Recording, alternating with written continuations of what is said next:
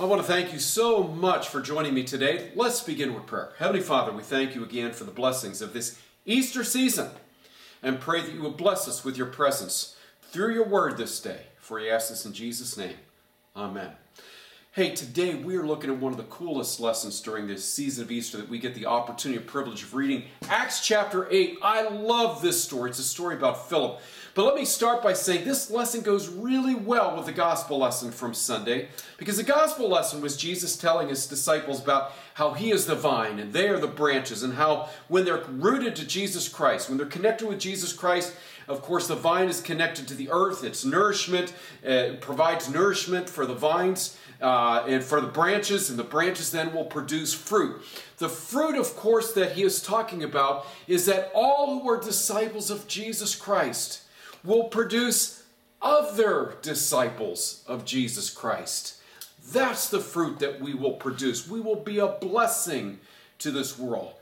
I'm convinced that we have really missed, in some ways, an opportunity to be a blessing over the course of this last year. It's been difficult for us, but I think many in the church have decided to fight political battles rather than being a blessing to the world and therefore we've missed the opportunity to touch and transform lives. Well, we can correct that. And so today is our opportunity to stop fighting these political battles because they're of, of, of tertiary, or they're of tertiary importance. They're not important. Not really. Not in terms of our future and our relationship with Christ. The most important thing are these eternal struggles the relationship that people are to have with Jesus Christ, how he wants to touch and transform people. And so we're going to actually take a look at Philip today. And I want you to keep this in mind. Philip is going to be interacting with a man who represents a queen called Candace from Ethiopia. She's long dead and gone. The politics of that country are long dead and gone. But the story of this man's transformation stays and remains. So, how unimportant were the politics and the importance of the politics in that man's day in life several thousand years ago? And so, I'm telling you, whatever you're battling for today is so unimportant compared to the relationship that we are called to share with others the relationship of Jesus Christ. So, let's take a look at this lesson. Cool. Great lesson. So, an angel Lord said to Philip, Philip again, who was he? Philip was uh, one of the disciples of Jesus who became an apostle. Remember the other week we mentioned what is an apostle? An apostle is a follower of Christ who had a physical experience or uh, with a resurrected Jesus Christ. So there are no apostles today. There are people who call themselves apostles, but they're technically not apostles. That's just a brand or a title they put on themselves and they pat themselves on the back, I guess because they think they're somehow special. An apostle was very specific to the followers of Jesus Christ who physically followed Christ, who physically had an interaction with the resurrected Lord, and therefore went and proclaimed the gospel, the good news. So that's who Philip is. He's one of the apostles. All right. So the angel of the Lord, a messenger of the Lord, said to Philip, Get up, go south to a road that goes from Jerusalem to Gaza. It's a wilderness road. Now, I, you know, there are actually three different roads that traveled down from Jerusalem uh, to the south and going towards Egypt and so forth. And you know, you had the King's Highway that was on the uh, that would have been on the west, and then, of course, you had the one that traveled right along the coast on the Mediterranean Ocean. Those two were very well traveled. And by the way, the King's Highway is still a real physical highway today. But right in the center, right in the wilderness, in the middle of nothing, it was sometimes a quicker journey to go that way. But there were a lot of robbers on that path. And, oh, by the way, it was a rougher path and there weren't many towns if you ran out of water, if you needed help, you were kind of in deep trouble if you ran down that center path. Well, this is the path that Philip is taking, at least what it looks like in the scripture today the wilderness road, out in the middle of nowhere. So Philip got up and he went down, and there was an Ethiopian eunuch, a court official of Candace, the queen of the Ethiopians. So again, I mentioned the politics. Those politics of Ethiopia are long gone. Who cares? And here we are fighting still battles about politics today. Who cares? They aren't going to matter. Not 10 years from now, not 20 years from now, not 100 years from now. What's important to Philip is not the politics or the country from which this man comes, although that's pointed out to show you how far the good news of God disseminates. That no longer is it just for the Jews. So here, this Ethiopian eunuch. Why does it mention he's a eunuch? Well, you know, it was common and officials of those days that uh, um, that I guess they thought if you were a eunuch, you didn't have any other loyalties to anybody else except for the person to whom you were bonded or, or to whom you served. So here he is, a eunuch. Nevertheless, he's serving in the court of the queen of the Ethiopians, Candace, and he was in charge of her entire treasury. Okay, so he had no family to whom he was going to take money and give it to them, and that's kind of the reason for that. So he came to Jerusalem to worship. Well, what would have been around this time? Uh, remember, it is still, at this time, the season of Pentecost. Whoops, Pentecost. I can spell that. That is 50 days, by the way, after what? Hmm. Well, from a Christian perspective, it's 50 days after the resurrection. Okay? But this is a Jewish uh, this is a Jewish holiday. So it wasn't 50 days after Christ's resurrection. They're not, they're, that's not what they're looking at. It's 50 days after, hmm, what would it be? The Passover. Okay? Ooh, goodness, I can barely write today. So 50 days after this Passover. So Pentecost, 50 days after the Passover. And so he was likely there in Jerusalem to worship. He had probably been a convert to Judaism. It was not unknown, especially in the South, for them to have a, a deep relationship with uh, Israel. Remember, Israel was really a nice hub. It was a metropolitan uh, area, Jerusalem in particular, metropolitan city. Everybody passed through Jerusalem. So it was a big, bustling, powerful town that people would often travel through. And people were influenced and affected by Judaism and so forth. And so the religion was, you know, the Jewish religion may not have been large, but it disseminated throughout the world. But this man, this Ethiopian eunuch, eunuch was returning home. So again, he'd been there for Pentecost likely. He was returning home. He was seated in his chariot. Oh, wasn't he a wealthy guy? okay, he had a chariot. He didn't even have to walk, and he certainly wasn't riding on the back of a horse, which would have been uncomfortable. They didn't have saddles like we do today. Okay? So, he was seated in his chariot. He was reading from the prophet Isaiah. And the Spirit said to Philip, the Holy Spirit, of course, go over to his chariot, join him. So here's Philip. He's minding his own business. He sees this guy reading a book. What the heck? It wasn't a little book. You know, this had been a scroll. So a scroll of the book of Isaiah. Isaiah is a huge scroll. This is a big, monstrous thing. Okay? So he goes over to Philip to his chair. Philip goes over. Philip ran up and heard the man reading from the prophet Isaiah. Philip said, Do you understand what you're reading? The eunuch replied, How can I unless someone guides me? So he was affected by Judaism. He heard the readings at the season of Pentecost. He wanted to devote himself more deeply to God. And Philip was provided to give him the answers that he needed. Isn't God good? It's amazing. So the man, the eunuch, invited Philip to get in and sit beside him, and the passage of scripture that the man was reading said this Like a sheep, he was led to the slaughter, like a lamb silent before the shearer. So he does not open his mouth. In his humiliation, justice was denied him. Who can describe this generation? His life was taken away from the earth. Now, you have to understand, this is a passage from Isaiah that has its own context separate from Jesus. We Christianize it, we make it about Jesus because that's what Philip does.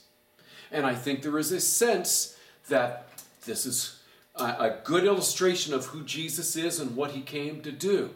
But this passage means something separate from this context. And so uh, he was sitting here struggling, not even thinking about Jesus. And that's kind of my point to this. So this man wasn't, you know, he could have gone to Jerusalem and not even heard about this Jesus guy, okay? Because again, he was a Jew, a convert to Judaism. The eunuch asked Philip, About whom, I ask you, does the prophet say this? About himself or about someone else? That's a really good question. Whenever you look at the scripture, you ought to be curious. I think sometimes we Christianize things. Again, we need to take a look at what is the context about whom is this passage referring so that we use the scriptures appropriately. But Philip, he began to speak and he started with this scripture and proclaimed to him the good news. Remember how in the last couple of weeks we have determined that the good news is very simple. Okay? That we are saved by what? By name, by the name of who? Jesus. There you go. That's the good news. We Christians make it about so many other things. If we're proclaiming another message other than this, or more than that, or adding to it, or telling folks that they have to do this, this, and this, and this before they can get this, we are not proclaiming the good news of Jesus Christ. The disciples kept it really simple. And that's why they had such a, such a profound effect on the lives of people around them because they kept it simple. They didn't make it about their politics, they didn't make it about their systematic theologies. They made it about the name of Jesus can bring you healing and salvation. That's it. What a great news that is. So he goes on. So Philip began speaking, starting the scripture, proclaimed the good news about Jesus, the name of Jesus. And as they were going, uh, that was it. That was all it said about what Philip shared with him about Jesus. He shared about Jesus, who Jesus is, how Jesus fits this lamb who was sacrificed, kept his mouth shut, willingly took this indignity of the crucifixion, but how the good news is, is there's a resurrection on the other side and there's salvation through this. That is the gospel message. It is such good news. And so what happens? The eunuch, as they going along, they came by some water, and the eunuch said, Look, here's some water. What's to prevent me from being baptized? And so he commanded the chariot to stop, and both of them, Philip and the eunuch, went down to the water. and Philip baptized him. Kind of a cool story. And so he understood that God was make the eunuch understood that God wanted to make a claim on his life. He said, I want this claim. I want to be a part of the kingdom. And baptism is uh, the way that this was done, okay, by the early Christians, by us still today. When they came out of the water, the Spirit of the Lord snatched Philip away. How did that happen? Boom, did he disappear like a ghost? I don't know. The Bible doesn't say that. It could have been, look, I got to go, and they just went their separate ways. And to anybody who is visually watch, walking this, you know, after the baptism was done, Philip just said, I got to go. I got other places I got to be. Or it could have been a miraculous thing. It really doesn't specify that. I think we make it a miraculous thing, and it certainly could be. I don't have any problems with that. But let's not read more into the scripture than what it tells. Us. It just says, he was snatched away. The Spirit snatched him away. It was time to go. You know, it's kind of, uh, you know, when I would, uh, my daughter was a little bit younger and we picked her up at daycare, I snatched her away. Was he, she miraculously just disappear? No. It says it was time to go and we got to go. We grabbed her and we go. Okay? So I don't know what this would have looked like and it really doesn't matter. The point is, is God had another agenda for Philip because he had done the work here with this Ethiopian eunuch. He planted that seed, that seed came forth into fruit, fruition, and a disciple of Christ in this Ethiopian eunuch, and he was going to go back to Candace and tell her all about it, I'm sure. All right? So the, the Spirit snatched Philip away, and the eunuch saw him no more. They parted ways, but he was rejoicing. I'm sure he's sad. I'm losing my friend Philip, but you know what? It was a short term relationship. aren't those sometimes the best? You have these, these itinerant interactions with people that you'll never see again. But sometimes they're such valuable and inspirational relationships, and we take advantage of these opportunities. It's amazing what can happen. This is what Philip did. Okay. And then Philip found himself in Azotus, and he was passing through the region proclaimed the good news to all the towns until he came to Caesarea, which is in Philippi. Okay? Uh, the Philippians, you might remember that book, uh, Paul's book to the Philippians. All right, so I just want to point out a couple of additional things here about this. And this is about the itinerant nature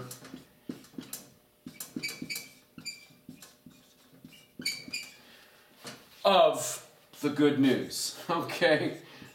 What do I mean by that? We have the opportunity every single day of our life. We come in and out of people's lives. It is an opportunity to be witnesses to what God has done. Now, when we talk about producing fruit, there are some people who have the privilege of seeing a relationship with Jesus Christ blossom in a person. But not all the time. Sometimes all we do is we plant a seed. My wife, uh, after the sermon on Sunday, um, just about again bearing fruit, you know, it can. There are a lot of Christians who run around with these notches on their belt. Look how many people I brought into relationship with Christ. And that is so bogus. Okay? First of all, somebody else probably claims them. Uh, I brought this person relationship with Christ. No, I did. No, I did. So we're fighting over who actually brought the person to relationship with Christ. Chances are they came into relationship with Christ 10 years ago, and maybe all you did is nurtured their faith a little bit further and a little bit deeper. Well, see, we all have the opportunity to plant little seeds, to water the ground, to cultivate around that plant that is growing. And so it's a team activity to bring somebody into relationship with Christ. I'm a Christian, I would say oftentimes, because of my mother.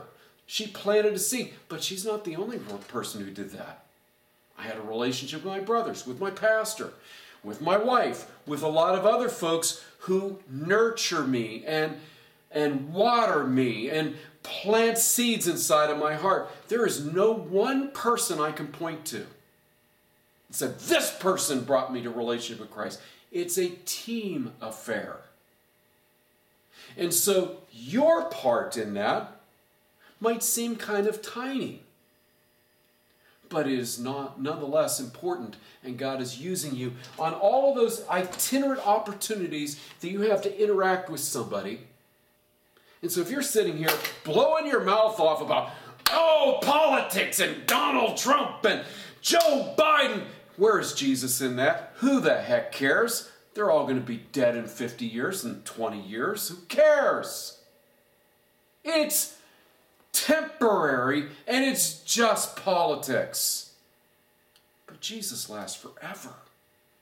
See, I think we this has been the problem this last year. We've gotten our, our, our tidy whities in such a bun about such unimportant things. And I know, well, there's justice, and you know what? There are some justice issues that we have as a country that we've got to address, and these are important. I'm not saying that there aren't. So don't hear me that I'm dismissing some of these things entirely. But what I am saying is we need our focus on this aspect of our lives that you can be an itinerant preacher today of the good news. That doesn't mean that you pull out the Bible and smack a person over the head with what they need to believe. No, it means that just being a kind representative of Jesus Christ today and the opportunities that God has given you. See, that's what God did with Philip. This was a once in a lifetime opportunity for him to be with this eunuch. And then the guy was gone, out of his life. In his life, gone, and out of his life. But in that opportunity, he took advantage of it to be an itinerant preacher of the good news. And I am telling you, most of your opportunities to represent Jesus Christ will be that itinerant type of thing where we just have a short time just plant a little seed. Make a difference. to be a positive representative of Jesus Christ. And if you're shooting your mouth off about stupid politics or other type of crappy things that, that are, are so unimportant, they're not going to hear you. They're not going to hear about Jesus. They don't need to hear that. It's an opportunity to tell them that they are loved. That is the message that we carry. This is the good news that we share. You are loved because of what God has done for you in the name of Jesus Christ. That is the message that we carry with us when we go to the grocery store. How do we represent that? Through our kindness, through our caring of those around us, through that school board meeting when everybody else is screaming and yelling, through our kindness, our patience, the opportunity to listen to people. How do we represent Christ? Through that phone call that we have with that person on the other line. My wife, let me just finish with this story. My wife was thinking very seriously about this. How do I do this? Well, it's not exactly her wheelhouse to pull out the Bible and impress upon people what they have to believe but about Jesus Christ. However, we have again a, a, a cousin that we lost. We're very fond of, and uh, his wife obviously struggling.